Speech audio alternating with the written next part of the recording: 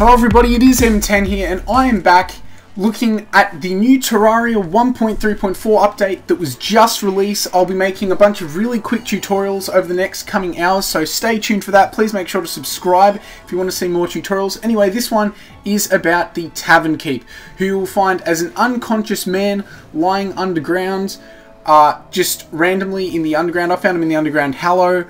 I'm not sure at what stage you can find him, and I'm not sure if it's just the Underground Hallow, but he was pretty easy to find. It only took me a couple of minutes for him to show up.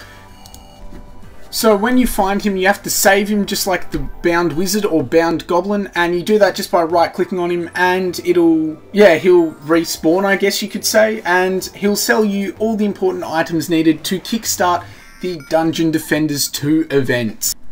Now it's important to note when you first get this NPC, you can only buy ale, Eternia crystals, and Eternia crystal stands. And I'll explain what they do in another video, but they're basically uh, the important things that are used to start the event.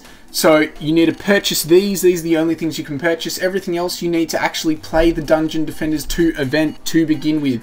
So that it looks like that's what I'll be doing for a little while. And yeah.